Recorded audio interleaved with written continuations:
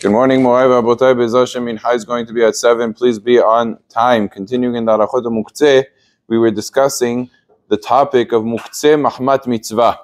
And we said that this form of Muktzeh, which means designated or set aside for the purpose of Mitzvah, is not really correlated to Shabbat or Yom Tov. It applies during the week also, which means any Mitzvah item that's designated for the purpose of that Mitzvah and set aside for that cannot be used for other mundane purposes, for purposes that are not of the mitzvah.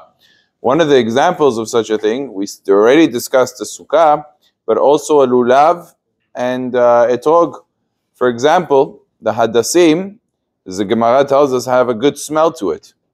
Uh, during the rest of the year, if you want to smell hadassim, let's say today, a typical Friday, you want to smell hadassim, no problem there's nothing asul because the hadassim are not inherently mitzvah uh, a month, a month and a half before Sukkot.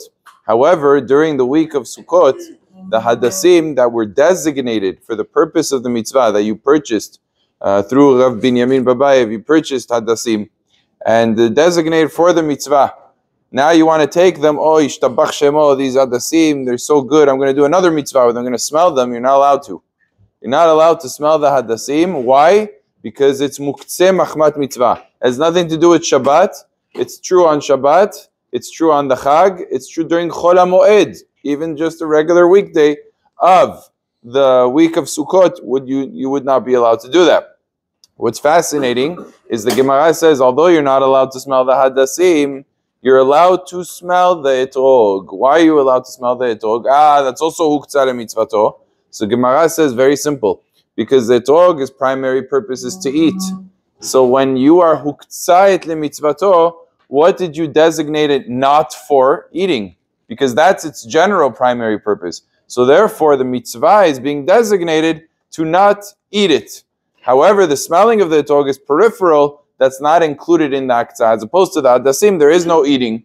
So the whole question is about the smelling, and therefore the uktzari mitzvato is to not smell. Therefore, there's a difference between a etog and a hadas. Nevertheless, the Shulchan Aruch says you're not supposed to smell a etog during Sukkot, and this is very fascinating. A lot of people do not know this halacha. People take their etog, wow, smells so good. You're not allowed to do that during Sukkot for a different reason, because we have a safek if you can make a bracha on it.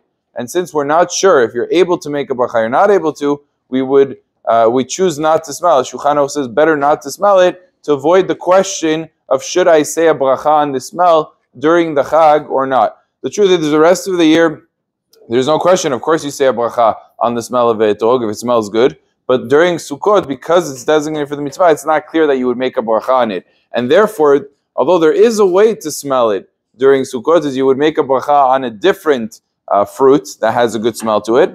And then once you ate a made a bracha on a different fruit, you'd be able to smell the etog. However, to smell the etog outright is not allowed, but for a peripheral reason, not because of the reason of muktzeh. Baruch Adonai le'olam. Amen.